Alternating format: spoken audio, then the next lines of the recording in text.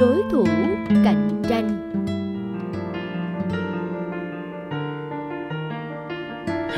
Sao nhà tay năm lúc nào cũng đông khách?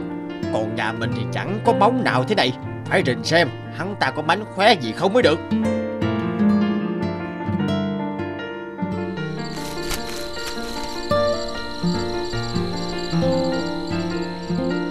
Cứ cái đà này chẳng mấy chốc mà vợ chồng mình giàu to Mình có biết vì sao quán nhà ta lại đông khách thế này không?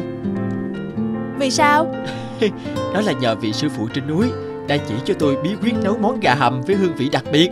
Tôi đã mất một tháng để học. Ai đến đây đều mê thích món ấy Nên à, quán mới đông vậy nè. Thì ra là có cao nhân chỉ dạy.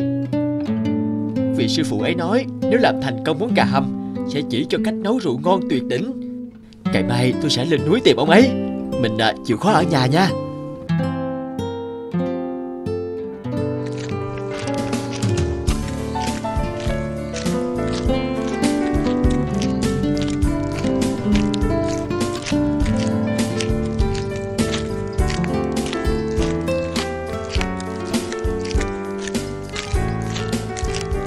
Anh Năm Ờ, anh Dân, anh đi đâu thế này? Ờ, có người bạn mắt tôi lên núi tìm thầy dạy nấu rượu. Thế còn anh thì sao? Ờ, trùng hợp thật, tôi à, cũng đang trên đường đến đó đây. Vậy sao? À, thế thì tôi với anh à, cùng đi cho vui.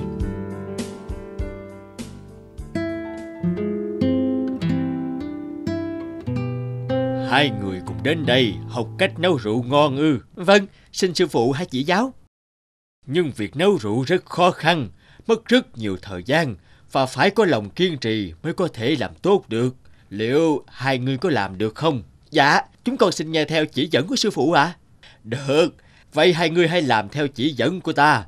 Các ngươi phải lên núi lấy nước từ những giọt nước tan ban đầu tiên. Phải vào rừng sâu chọn lá làm men Phải ủ rượu trong những chum sứ cổ. Dạ, chúng con làm được.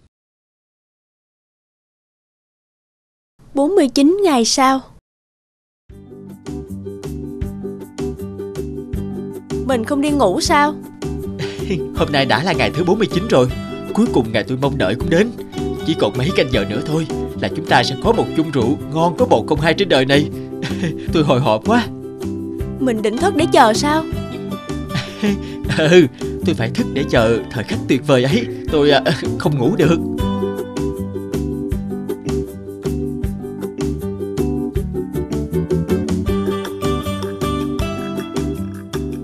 À thế là sắp có rượu ngon rồi, Chỉ còn vài canh giờ nữa thôi. Ơi gáy đi.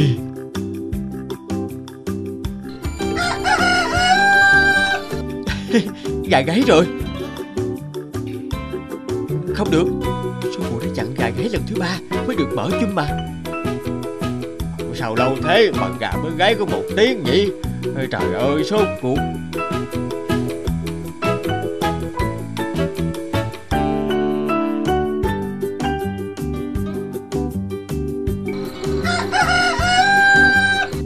hai lần dài ghế.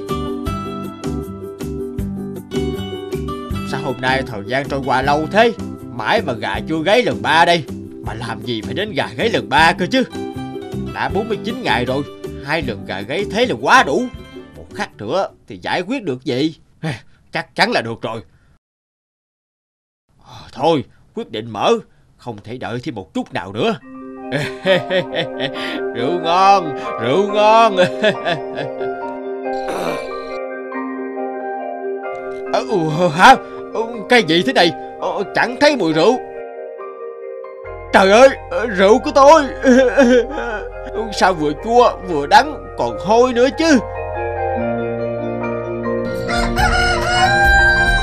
Canh ba Canh ba rồi. Cuối cùng cũng được mở chung rồi. Thành công rồi. Mình ơi tôi thành công rồi nè.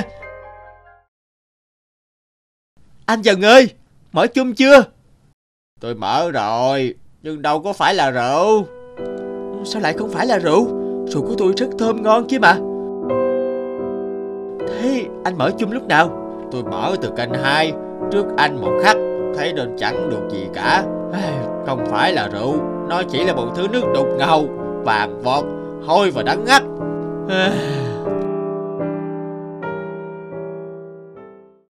Sưởi ấm thế giới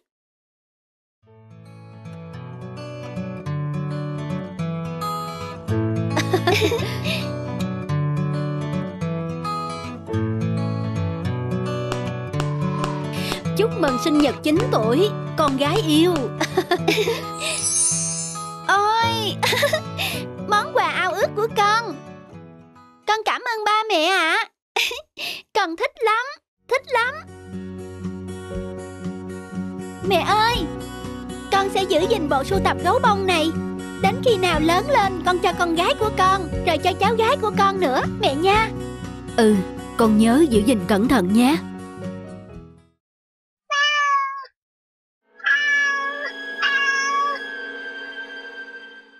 Ôi, chú mèo xinh quá. Mày từ đâu đến thế? Sao mày lại ở đây? Emily, mèo ở đâu thế con? Nó đi lạc vào nhà mình hay sao ấy mẹ à? Mẹ ơi, hình như nó đang rất đói. Hay mình cho nó ăn chút bánh đi mẹ. Hay là con cho nó uống sữa tươi của con nha. Con thả nó xuống đi. Nhưng... Nó là một con mèo hoang. Nhìn chẳng sạch sẽ gì Lại còn có vẻ yếu ớt nữa. Lỡ nó có bệnh gì lây cho con thì sao? Con thả nó xuống đi Rồi mình cho nó ăn sao Anh à Em liên lạc với trạm cứu hộ động vật rồi. Họ nói ngày mai Mình có thể mang con mèo đến ngay. Ừ, nhưng... Nhưng con muốn nuôi em ấy. Ngoan nào, Ba sẽ mua cho con thật nhiều gấu tết đi. Còn con mèo này thì mẹ con nói đúng đấy. Phải đưa đến trung tâm cứu trợ động vật. Ở đó có điều kiện kiểm tra, Sẽ tốt hơn. Con nghe lời ba mẹ đi.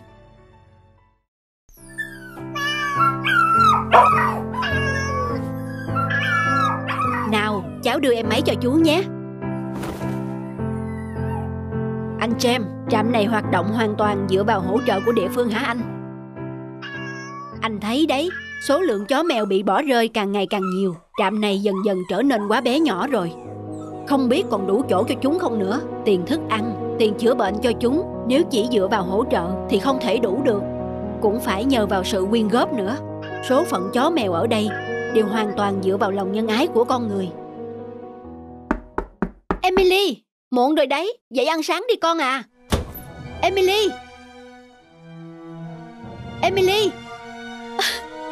Trời ơi Con gái của chúng ta đâu rồi? Em đừng có cuốn lên như thế Con bé không sao đâu Để anh suy nghĩ xem thế nào. À Chúng ta thử đến đó xem sao. Anh đoán con bé đang ở đó. Chuyện gì thế cháu bé Cháu muốn đưa chú túi này ạ. Nào, buổi sáng đẹp trời thế này, chú không muốn là nạn nhân của trò đùa cợt không vui vẻ này đâu. Ở đây chỉ nhận động vật sống, không nhận gấu bông nhé. Cháu mang về đi.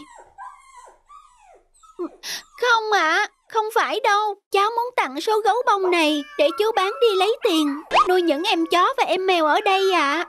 Thật sao? Dạ, đây là cả gia tài quý giá nhất của cháu ạ. Cháu không có tiền, chỉ có gấu bông thôi. Trong đây có cả em Teddy vẫn sưởi ấm cho cháu hàng ngày đó ạ. Nhưng mà cháu nghĩ những chú chó mèo ở đây sẽ cần nó hơn cháu. Emily, cháu thật là một cô bé tốt bụng. Nếu mà ai cũng như cháu, thì chú gấu Teddy này không chỉ sưởi ấm cho cháu đâu, mà có thể sưởi ấm cho cả thế giới đấy.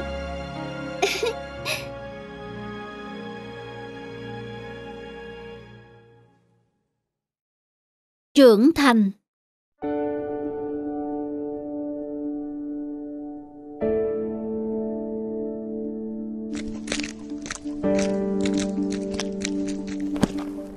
Hôm nay lại bán không hết củi à mình Ừ, dạo này đang vụ nông nhàn Dân họ cũng đi kiếm củi nhiều Thành ra bán chậm lắm À, mà thằng Tí đi học về chưa?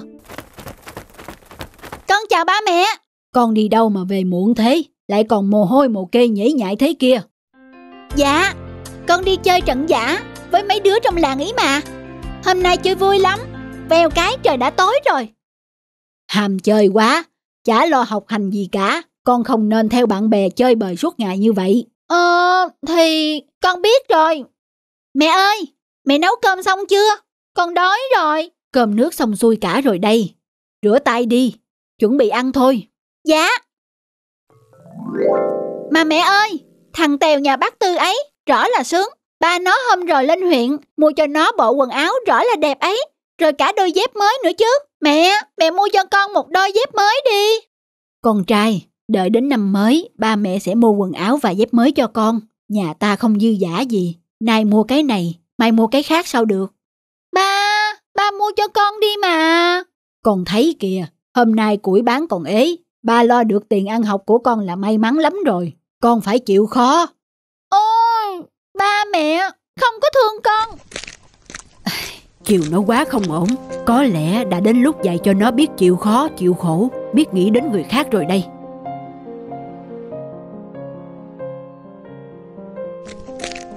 Ba ơi, con sang nhà bạn Tèo chơi nha. Con trai, hôm nay ba hơi mệt. Con phải đi vào rừng kiếm củi cùng ba rồi. Con đi kiếm củi hả ba? Đúng vậy, Ờ, nhưng bình thường ba vẫn bảo con cần tập trung học hành mà. Con thì vẫn là như thế. Nhưng con cũng nên tranh thủ thời gian giúp đỡ gia đình chứ. Cái gì cũng có khó khăn lúc đầu. Con sẽ làm được thôi. dạ. Ôi, con mệt quá. Không ngờ việc này không đơn giản như con tưởng. Con mới gom được một bó củi mà đã mệt à con trai. Nào, lại đây ba dạy cho con bổ củi. Ui da, Cầm chặt cắn rìu. Nếu không, con sẽ bị đau tay đấy.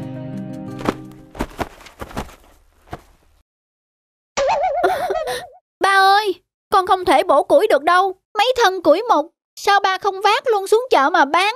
Bổ ra làm gì? Để thế thì ai mua hả con? Mình phải bổ ra. Khách mua về, chỉ đốt thôi.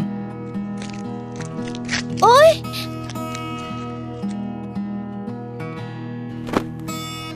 Ba ơi, con mệt quá. Chắc con không làm được việc nặng thế này đâu. Từ mai con sẽ ở nhà, con sẽ phụ giúp cho mẹ.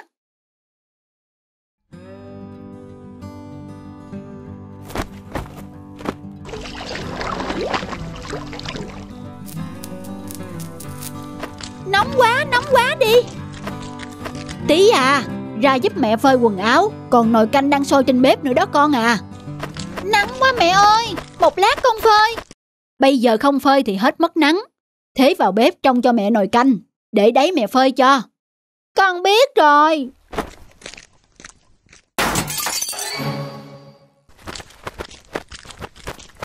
Sao thế con? Sao thế? Có chuyện gì vậy? Nóng quá, nóng quá. Thôi được rồi, để đấy cho mẹ. Mình, mình thật là vô dụng, học không tới nơi, lại chẳng giúp đỡ ba mẹ được việc gì hết. Mình đem túi cơm này đi. Kẻo về muộn lại đói. Cảm ơn mình, tôi đi nhé. Ba ơi, ba cho con đi cùng ba nha. Con phụ giúp ba bán củi ngoài chợ. Con xin đi cùng ba ư. Dạ vâng, ba ơi, từ nay con sẽ không đòi ba mẹ mua quần áo mới nữa. Hết giờ học, con cũng không đi chơi nữa. Con ở nhà phụ giúp mẹ, giúp ba.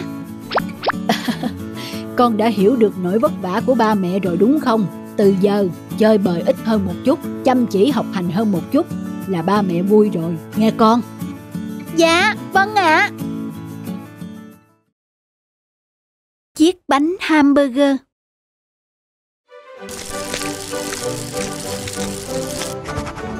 Như vậy chắc là đủ rồi. John ơi, John Tôi đây ạ Ông chủ có việc gì sai bảo Cậu đi đặt thêm số lượng này cho tôi. Tuần sau sẽ có lễ hội diễn ra. Ta đã đăng ký một gian hàng ở hội chợ. Đây là một cơ hội làm ăn rất tốt cho chúng ta. Liệu chúng ta có đang liều quá không ạ Tôi chỉ e Phải liều thì mới thắng được. Anh cứ làm theo những gì tôi dặn đi. Dạ Nhớ lau bàn và xếp ghế cho ngăn nắp vào nhé. Bà số thịt ta dặn đã mang về hết chưa?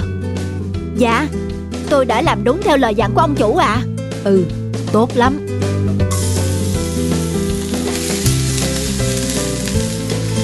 Mời, mời mọi người vào thưởng thức món bít tết cùng bánh mì thơm ngon. Nóng hổi của quán chúng tôi ạ.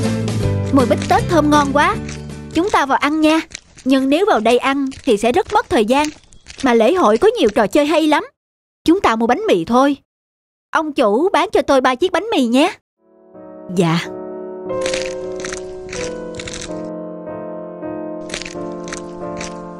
Sao số lượng khách vào quán ít như vậy cơ chứ? Ông chủ, tôi nghĩ quán chúng ta quá xa lễ hội. Mà mọi người đều muốn đi tham quan nên có lẽ chúng ta phải thay đổi phương thức thôi. Vậy chúng ta phải làm như thế nào? Tôi có ý này. Hay là chúng ta sử dụng những chiếc đĩa giấy để đựng bít tết thay cho đĩa sứ? Như vậy mọi người có thể mang đi xa. Đó không phải là một ý kiến hay. Vì mỡ dính ở bít tết có thể thấm ra giấy. Sẽ làm giấy bị ướt. Nhưng thôi, cứ làm theo ý cậu đi. Vì tạm thời cũng chưa nghĩ được cách nào tốt hơn.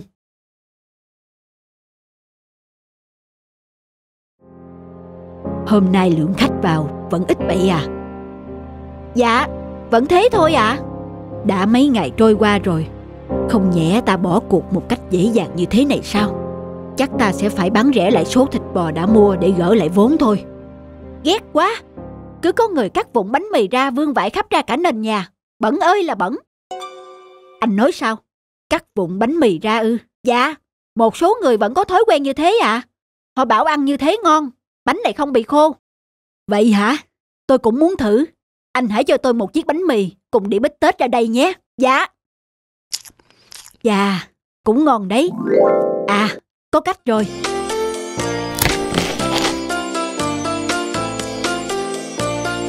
Miếng thịt này dày quá. Phải thử lại mới được. Chà, cũng ngon đấy. John ơi, lại đây thử món bánh mì mới của ta nào. Nhìn nó hấp dẫn quá. Ông chủ, tôi thấy chiếc bánh này thiếu thiếu vị gì đó. Nếu ăn nguyên thịt như thế này sẽ bị ngấy à? Đúng rồi.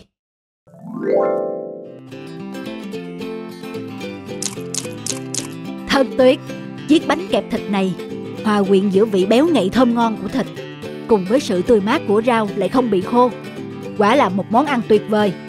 Chúng ta vẫn sẽ bán được cả thịt bò lẫn bánh mà khách lại có thể mang đi khắp nơi. Trông rất ngon đấy ông chủ. Cảm ơn anh. Chúc anh ngon miệng. Cho tôi ba ổ bánh mì kẹp thịt đi. Có ngay. Sáng tạo luôn được nảy sinh từ trong khó khăn đã giúp quán ăn của Charlie Rin đắt khách nhất mùa lễ hội năm đó. Charlie Rin là người đã đặt dấu ấn quan trọng cho chiếc bánh hamburger. Và về sau, chiếc bánh này đã trở nên thông dụng trên khắp thế giới, trở thành một món ăn được rất nhiều người ưa chuộng, vừa nhanh, ngon lại tiện lợi. Vườn cà rốt sớm thỏ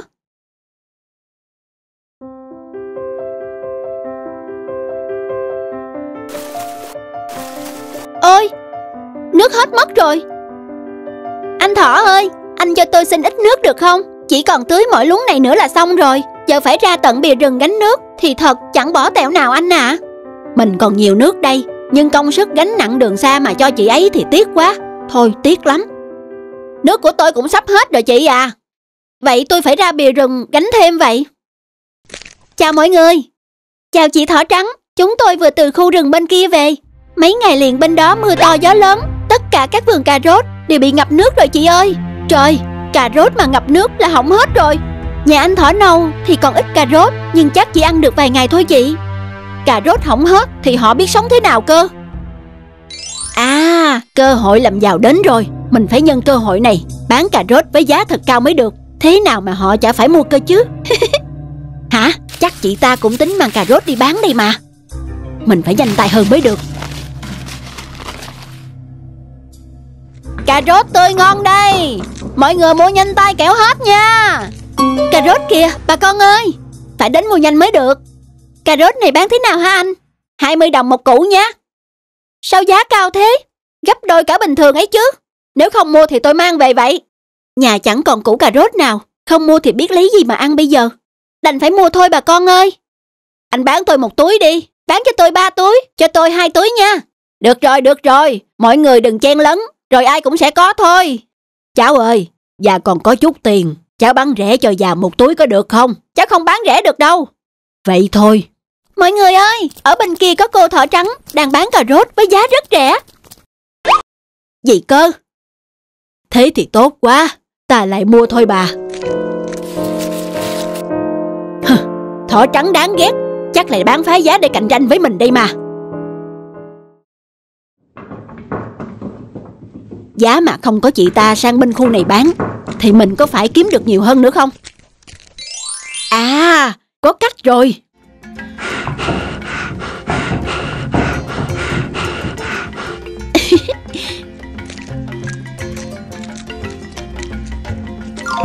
Trời, sao lại có viên đá đứng chắn ở đây thế này? Nặng quá. Lúc trước tôi thấy anh Thỏ cố tình đặt tảng đá giữa đường đấy chị. Vậy sao?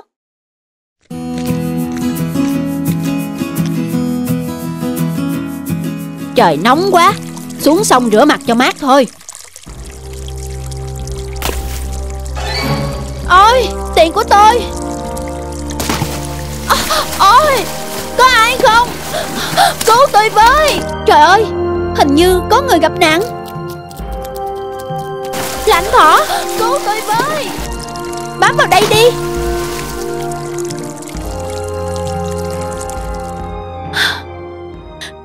Cảm ơn, cảm ơn mọi người. Anh có sao không? Hãy để chúng tôi đưa anh về nha. Tiền, túi tiền của tôi rơi xuống sông mất rồi. Thôi, xem như của đi thay người, giữ được mạng sống là tốt rồi. Nếu chị cũng mất hết số tiền bán cà rốt mấy ngày qua, chị có bình tĩnh được không? Chị thỏ trắng mang cà rốt đi chia sẻ cho mọi người mà. Chị ấy có bán đâu. Chị thỏ trắng... Vậy là chị... Không phải mang đi bán sao? Chị ấy bán rẻ như cho ấy. Tôi thấy chỗ chúng ta trồng trọt tương đối dễ dàng. Có của dư nên thấy mọi người lâm vào hoạn nạn. Tôi giúp đỡ ít nhiều thôi. Ừ. Chúng ta về thôi. Chắc chắn mọi người cũng sẽ góp cho cậu ít cà rốt. Vì giờ cậu có còn gì để ăn đâu. Phải không mọi người? Nhất trí. Nhất trí. Cảm ơn mọi người. Mọi người tốt với tôi quá.